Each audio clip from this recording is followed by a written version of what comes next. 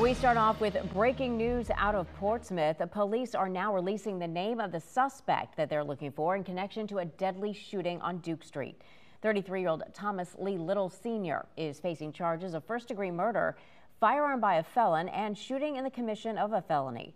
Police responded to a call yesterday morning and found the 33-year-old Timothy Scott Jenkins had died on the scene. The investigation is ongoing. If you have any information on the shooting, call the crime line or use the P3 Tips app.